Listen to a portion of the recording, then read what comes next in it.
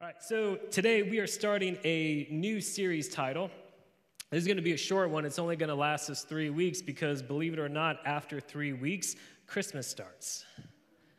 Some of you like just had a mild panic attack. You're like, what?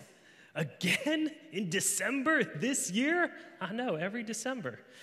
So the start of this title, um, we're calling it uh, "This Is the Way."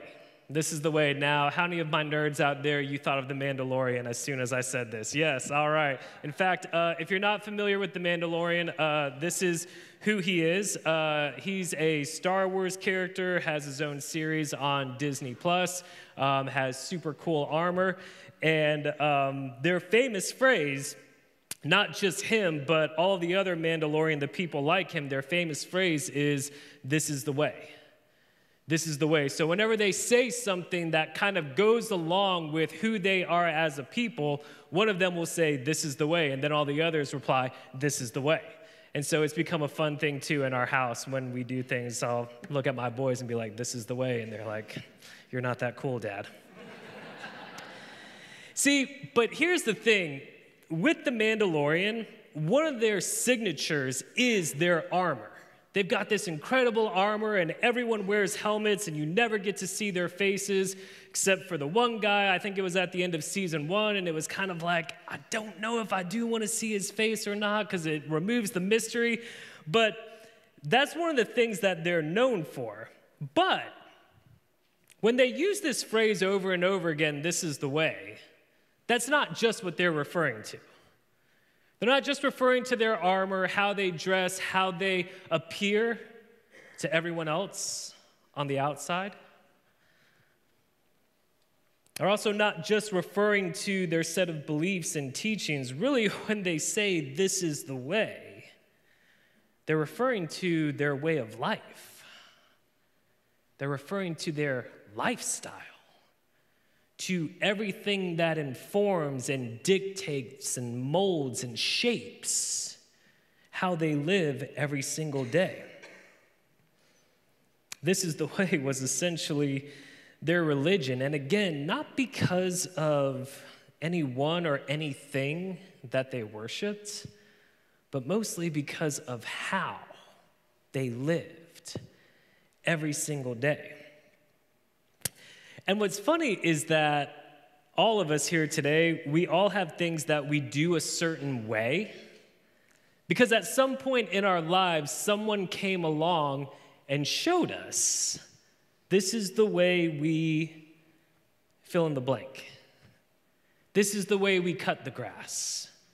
We cut it in nice straight lines, not random circles all over the place. This is the way we wash the car from the top to the bottom. We don't start with the wheels first and then polish the glass.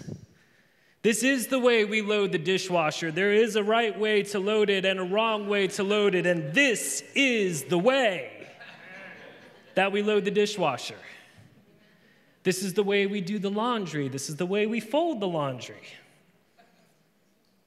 This is the way we treat others.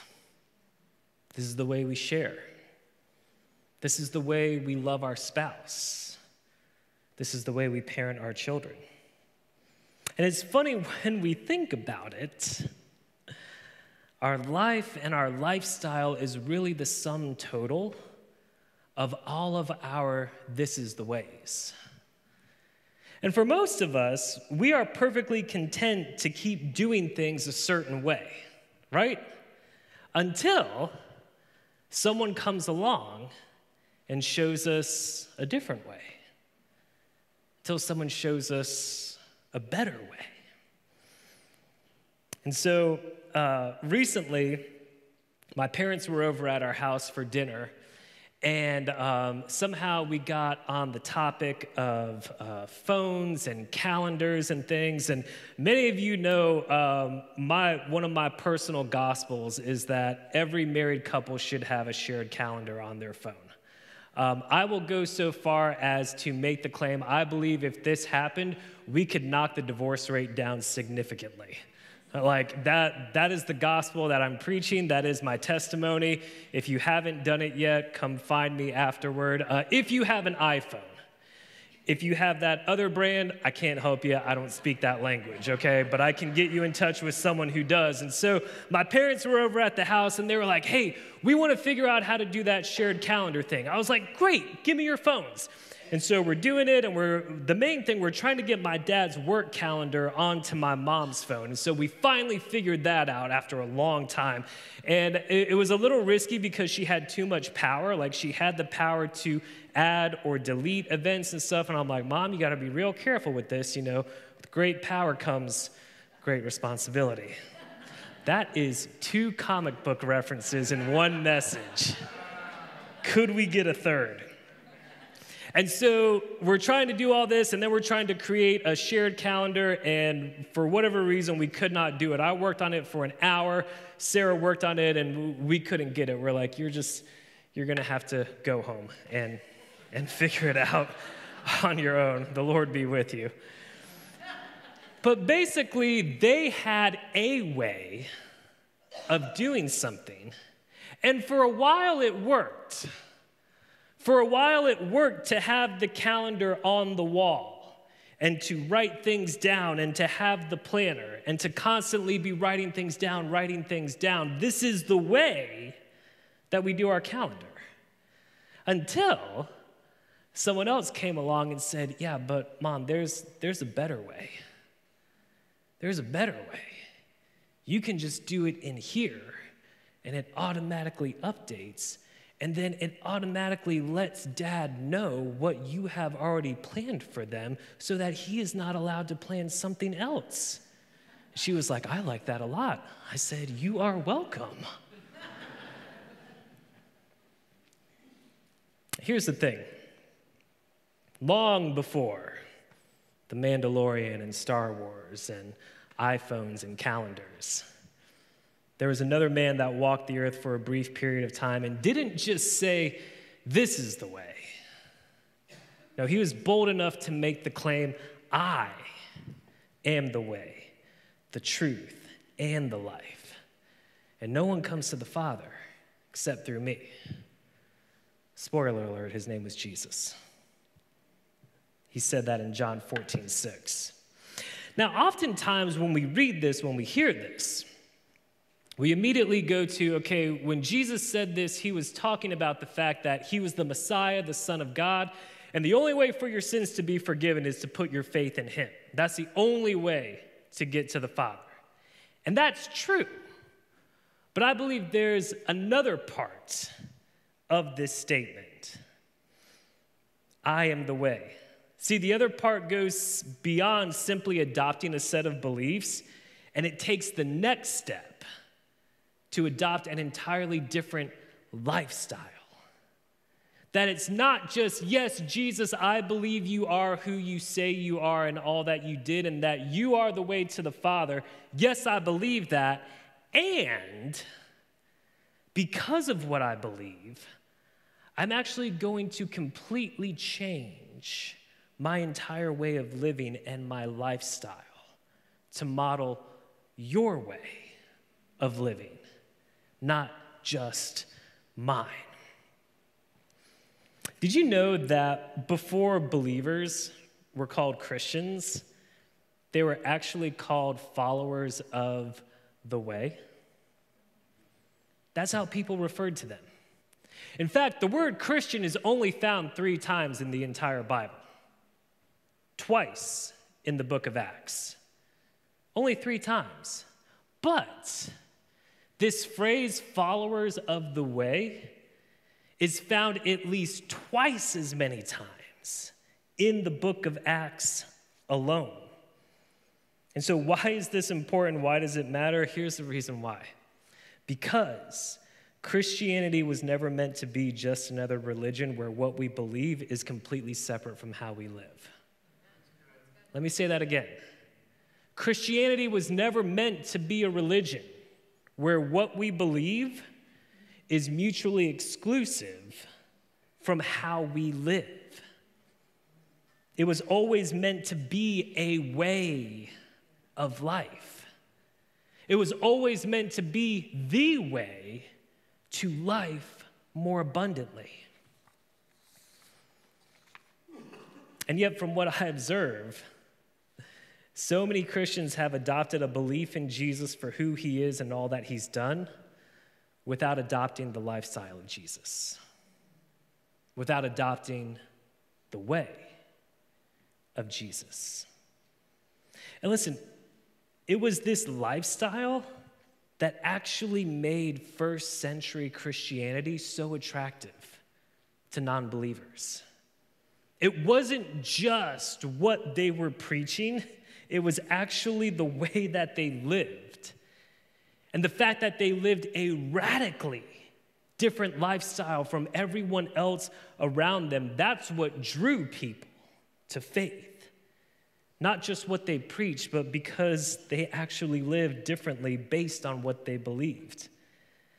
At the end of Acts chapter 2, it begins to describe how the believers formed a community. And, and, this is how it describes their community. It says they got together regularly to worship and pray and encourage one another. They met in each other's homes and they shared meals with joy and generosity.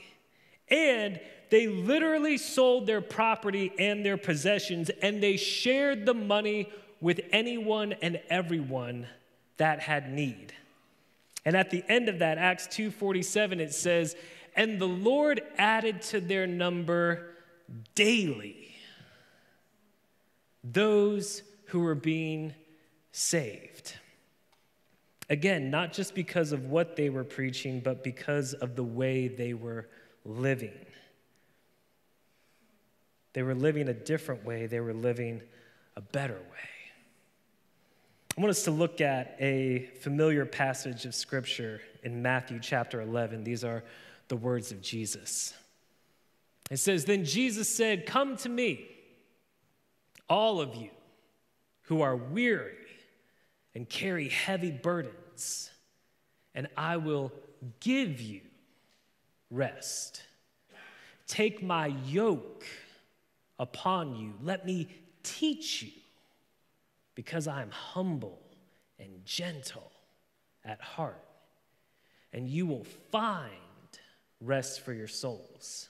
For my yoke is easy to bear, and the burden I give you is light. Now we have to remember that Jesus is saying these words as a rabbi, as a teacher.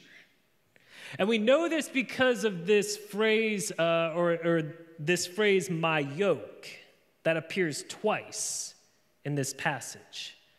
See, rabbis would refer to their teachings and their interpretation of the scriptures as their yoke. Basically, this is how I read the scriptures. This is how I interpret them. This is how I translate them. This is how I teach what they mean. This is my yoke. And Jesus wasn't the only one that had a yoke. All rabbis during his day had yokes. But especially for Jesus, his yoke wasn't just limited to his teachings, it encompassed his lifestyle, his way of life. So when he says, Take my yoke upon you, he's not just saying, Take all of my teachings, take all of my sermons, take all my interpretation and my materials. No, he's saying, actually look at the way that I live and model that. That is my yoke, my lifestyle, the way that I live. What Jesus is doing in this statement is he's contrasting his yoke as a rabbi with all of the other yokes of the other rabbis, Pharisees, and teachers of religious law, what he's doing, he's contrasting his way of life with theirs. He says, Mine is easy and my burden is light, as opposed to theirs, which is harsh and heavy and leaves you tired and weary. So let's go back. Let's go through this passage verse by verse. Let's start back with verse 28. He says, Come to me, all of you that are weary and carry heavy burdens, I'll give you rest. You guys can leave that on the screen while I'm teaching through this. Some of the other translations, that word weary, they use all of you who labor, all of you who are tired, all of you who are troubled, all of you who are struggling under the weight of an ill fitting yoke from other rabbis and teachers, and, and I'll give you rest. I'm not going to pile more weight on it and make it harder and more difficult for you. No, I'll give you rest. See, what we often don't realize is that we sit at the feet of other rabbis and we take on their yokes, whether we realize it or not. We sit at the feet of others and we take on what they teach and we look at the way they live and we take that on for ourselves because it's more profitable, because it's going to advance our career, because it looks like it's more fun, because it's actually promising rest and relaxation and escape from the heavy burdens of the world. But in reality, those other yokes are just heavier and more burdensome, right? Because it's what the world is offering. And the world can never offer what Jesus promises. They can't. Listen, could I submit this to you today? If your current way of life feels heavy and burdensome, and leaves you feeling tired, weary, troubled, and struggling, there's a very good chance that you have chosen a way and not the way. If you're here today and you look at your way of life and you identify with Jesus' invitation, I am tired, I am weary, I am struggling, I am burdened is there a chance that you have chosen a way rather than the way? In fact, and y'all hold your emails, okay?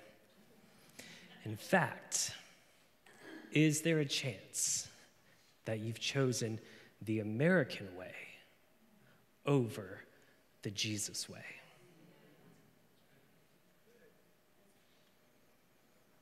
And again, before you send me your emails, Pastor Matt, that's not very patriotic. Well, I'm a child of God before I'm an American. Because this isn't going to be my home forever. Eternity is going to be heaven, not the USA, not North Carolina. As much as I love where I live and I'm proud of that, that's not my final destination. That's not my ultimate citizenship. And here's the thing though we so readily accept these other ways that leave us tired and weary and worn out and struggling because we look around us and everyone else is living the same way, right? Every time you meet someone and you ask them, man, how are you doing? What are the typical responses? Oh, I'm busy. I'm tired, just trying to make it. And so we've accepted this because everyone else is living the same way. And what do we tell ourselves? Well, I guess this is just the way that it is. What if it's not just the way that it is? What if it's just the way that you've chosen? What if it's not just the way that it is? What if it's the way that you've chosen? Because the reality is that you have gotten to where you are right now with the way things are because of all of the decisions that you've made that you've chosen along the way.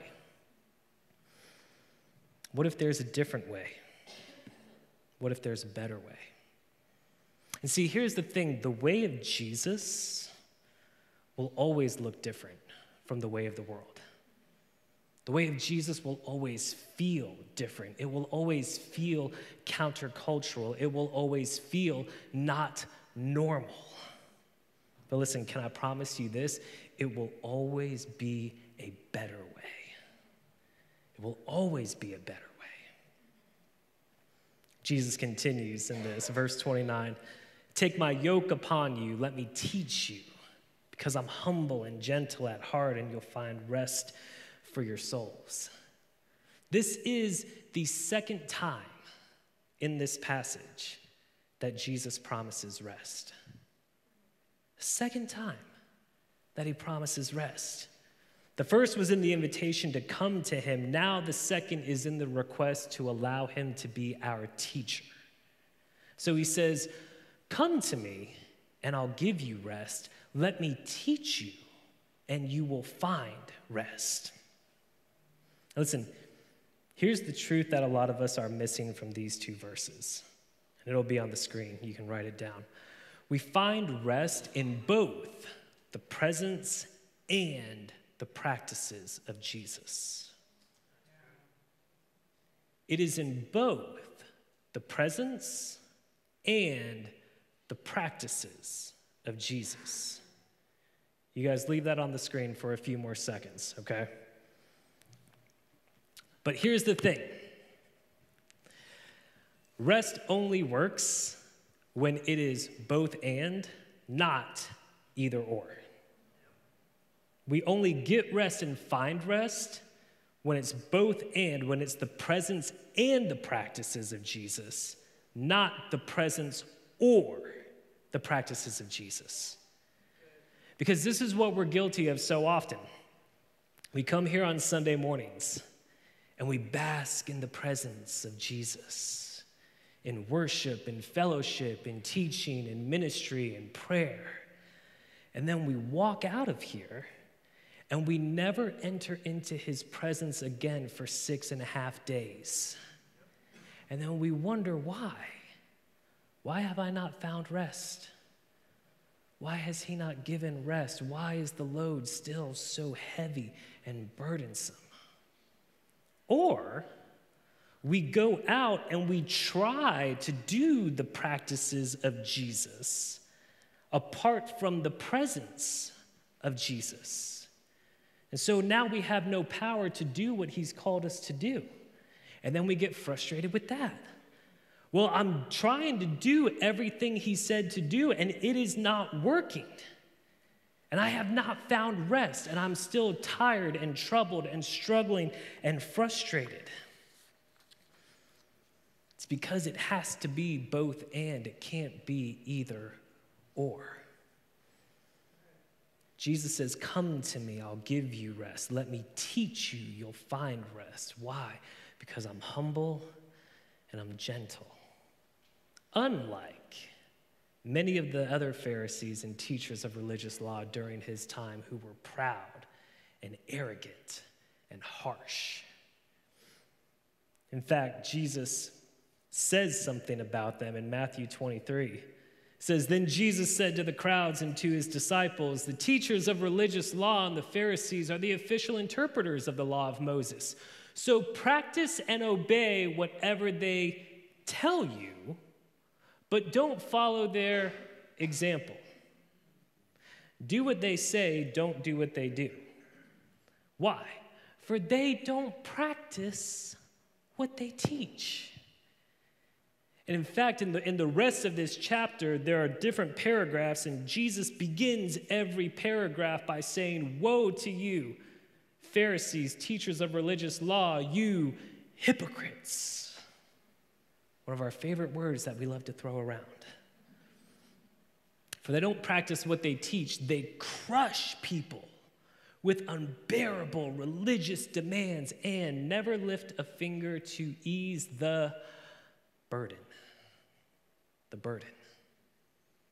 Jesus says, I, I'm not like that.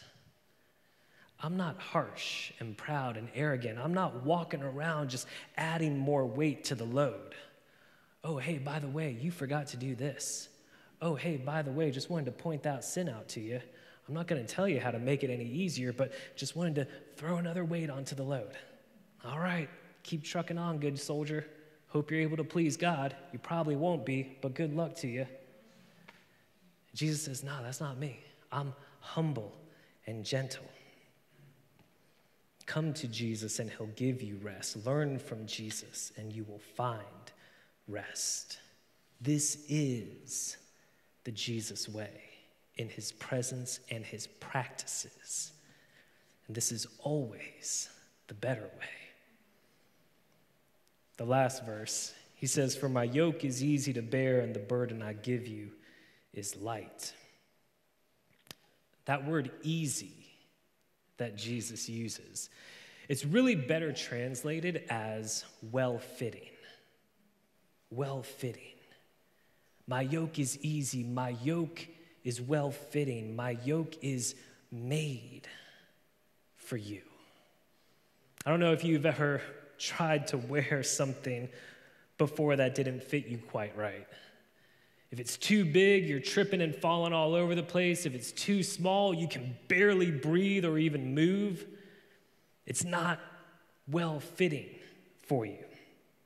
When our uh, oldest son, Caden, when he was real little, he had this fascination and obsession with shoes, and uh, particularly to other people's shoes.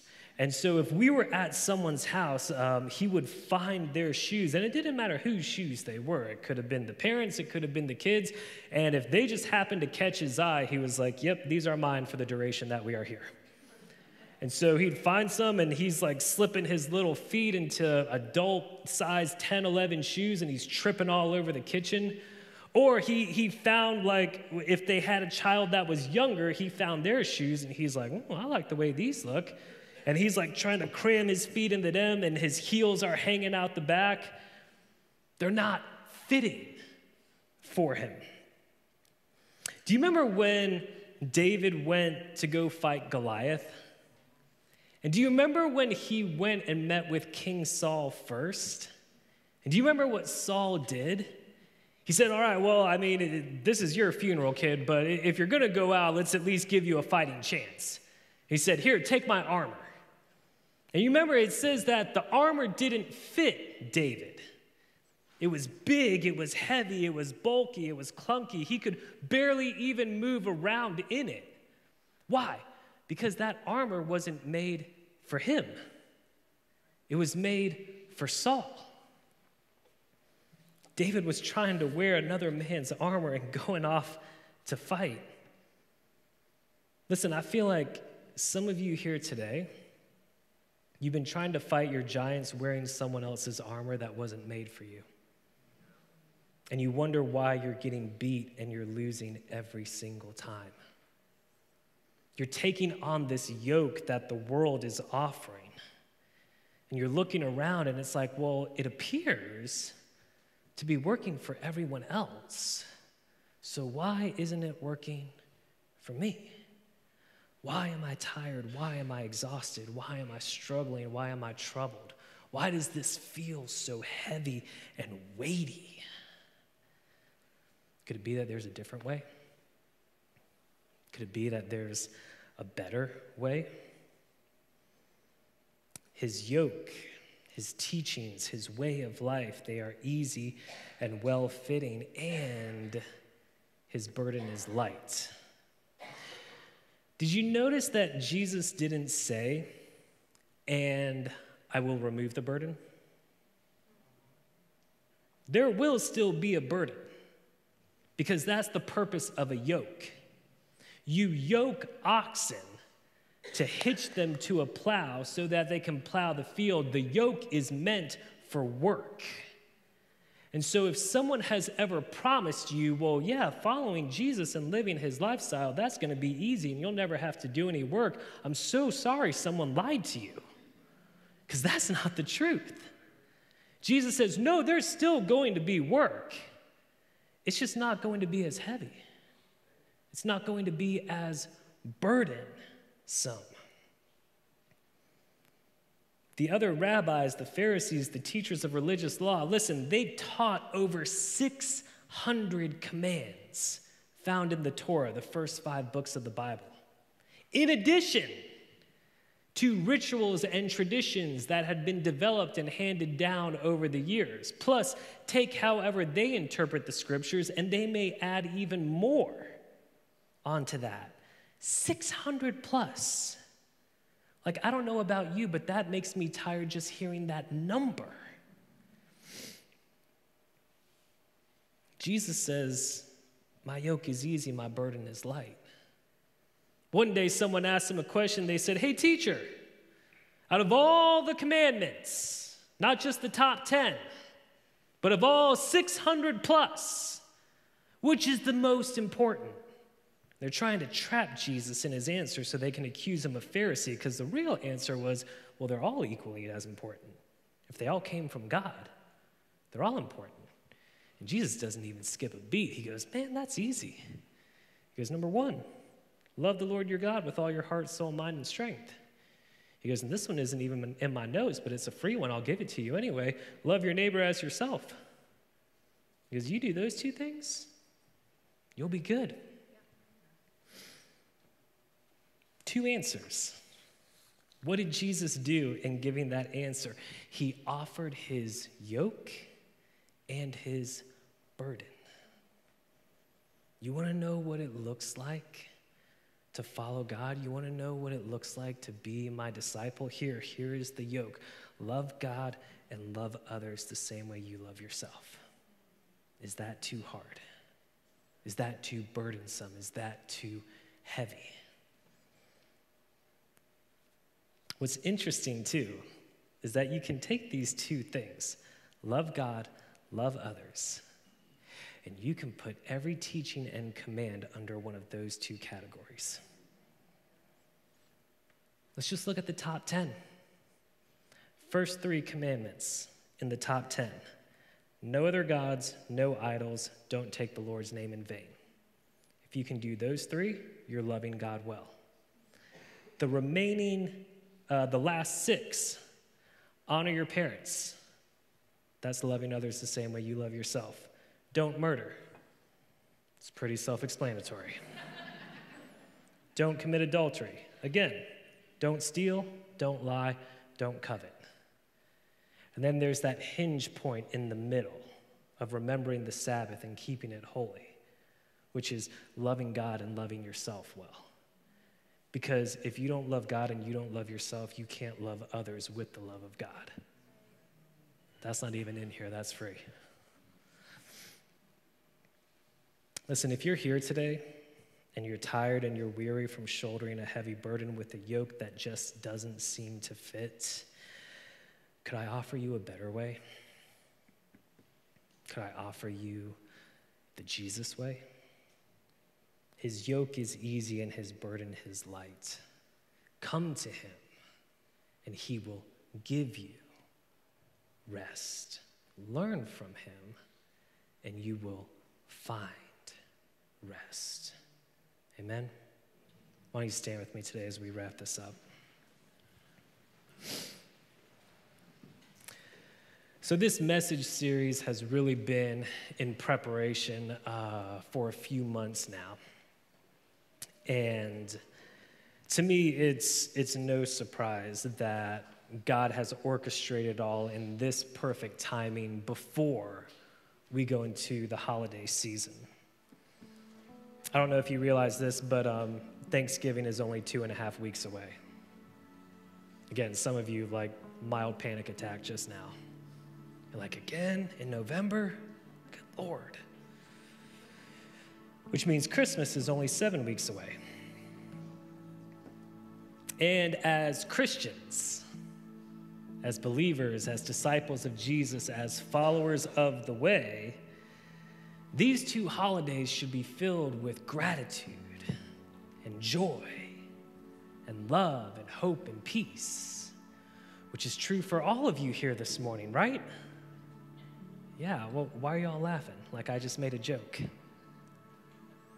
See, because for the reality, for many of us, whether Christian or not, let's be honest, the holidays are the most stressful time of the year. It is the time of the year that we feel the most weight and the heaviest burdens, that we are the most weary and tired and stressed and struggling during that time of year. Again, could it be that we have chosen a way rather than the way when it comes to even how we do the holidays? And so I just want to throw a question out this morning. What if your holidays could look different this year? What if they could be simpler? What if they could be slower? What if they could be easier? What if they could be lighter? What if you stop doing things the way you've always done them, which is why you keep getting the same results you've gotten every year? And what if you did things a different way this year? Church, there is a different way. There is a better way. And it is the way of Jesus. This is the way. I'm going to ask if you would uh, bow your heads and close your eyes. I'm sure during this whole sermon, the Holy Spirit has been speaking to you. He's been bringing about that gentle conviction, not guilt and condemnation, but conviction that only comes from Him.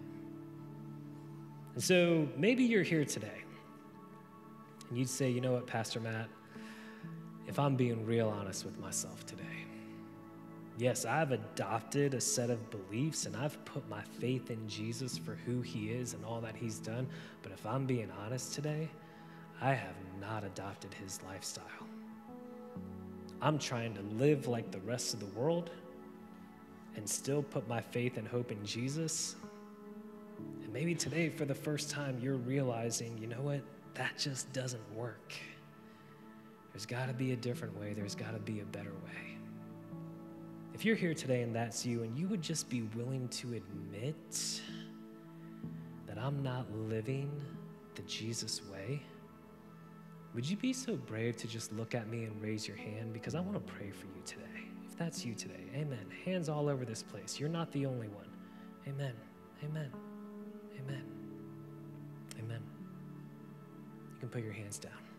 Now, I want to offer the follow up to that. Maybe you're here today. You would say, you know, I've never even really considered that there could be a different way or a better way. But I actually want to try it. I actually want to try it. I don't want my faith to just be about what I believe and that it doesn't impact the way that I live. You're here today and you say, Pastor Matt, pray for me because I actually want to try living this Jesus way. If that's you today, would you just raise your hand and look up at me? Because I want to pray for you. Amen. I see that hand. Amen. Amen. Amen. Amen. Well, Jesus, thank you that you came to show us the way. Lord, and not just the way to the Father, but the way to live our lives day to day. That here on this earth, we actually would have the chance and the opportunity to live life and live it more abundantly. Holy Spirit, I thank you for those who had the courage to raise their hands. God, and even for those who didn't. Lord, I pray this week you would open up our eyes to see things in a new way. Open up our eyes to see where we've chosen a way that is not the way. Lord, give us creativity to reorder our schedules, to reorder our lives, to begin doing things a different way and a better way. God, I thank you for the promise that your yoke is easy, that it, it fits us well, and that the burden you place upon us is light, which means through you we can do it. In fact, through you we can do all things because our strength is found in you. So, Lord, thank you for coming. Thank you for modeling. Thank you for showing us a different way, a better way. Thank you for showing us the way. Lord, we love you. And it's in your name.